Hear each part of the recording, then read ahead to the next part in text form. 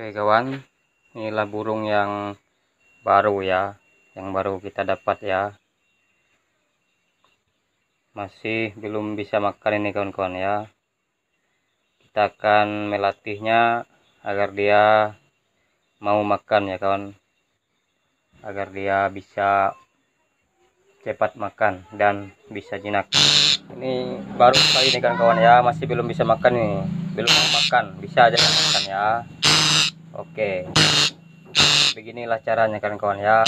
Setiap kita mendapat puling yang baru ataupun burung sirindit, coba kita setiap baru dapat ya kan kasih saja dia air air liur kita kawan-kawan ya.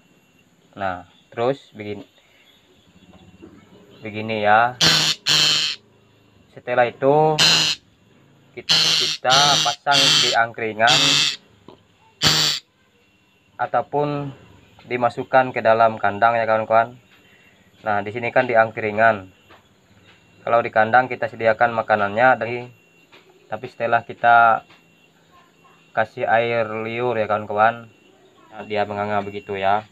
Dan pegang saja kawan-kawan. Pakai kain. Dan kawan ya cara lainnya.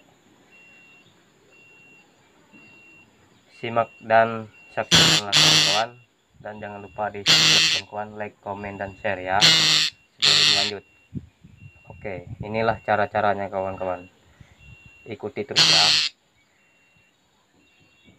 Cara ini mempermudah burung ini burung puling cepat jinak ya kan kawan? Beginilah cara-caranya. Sediakan air ya kan kawan di sini. Lalu beras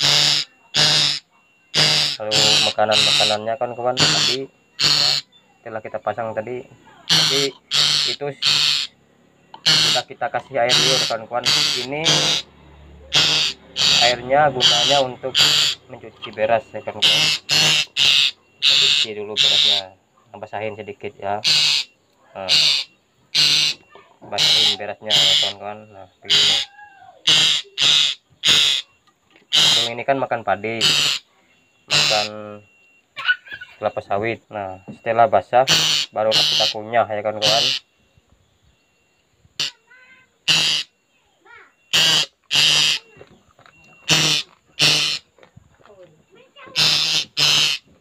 kita kunyah berasnya lalu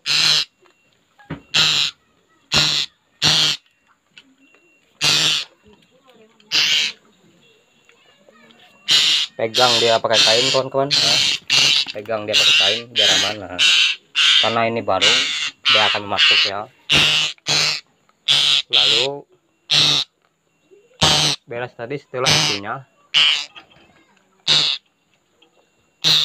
kita kasih ke dia ya. Nah begini caranya ya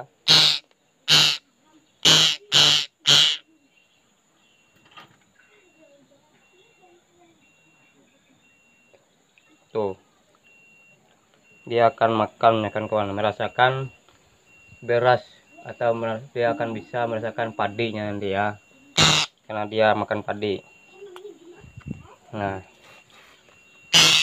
Inilah caranya agar dia cepat bisa makan kawan ya. Cepat bisa belajar makan.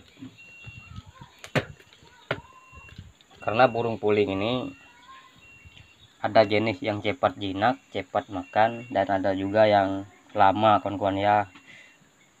Menunggu sampai 2-3 hari baru burung pulingnya jinak atau baru bisa makan kawan-kawan. Nah setelah kita kasih dia air liur campur beras yang dikunyah baru kita kasih dia ini kawan-kawan ya. Nah. Pegang aja dulu ya. Karena dia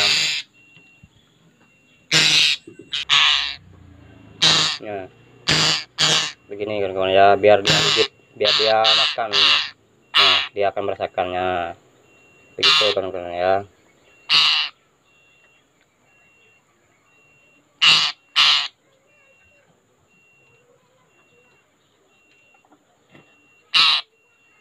Setiap burung yang puling yang kita dapat baru ini kawan kita akan melatihkan begini ya. Nyah beras lalu kasih yang pertama-tamanya kasih dia air air liur kita dulu kan kawan biar dia cepat jinak. Nah tuh dia bisa merasakannya kan. Biarkan saja kawan-kawan ya. Tuh. Nanti juga juga dia kalau dia lapar juga makan sendiri kan kawan ya. Nah. Setiap mendapat burung puling yang baru maka kita akan melatihnya begini kan kawan? Kita pegang pakai kain saja kawan-kawan supaya lebih aman ya. Karena burung puling ini super super sakit ya kalau dia mematuk kita. Nah tuh kan dia merasanya dia memakan. Terus kita gabungin ya kawan-kawan. Inilah cara ketiganya kita gabungin puling baru kita ke kawanan ya kan kawan yang yang lamanya ke parit kita yang lama ya. Gabungin dekatin dia agar dia niruin mereka yang makan ya.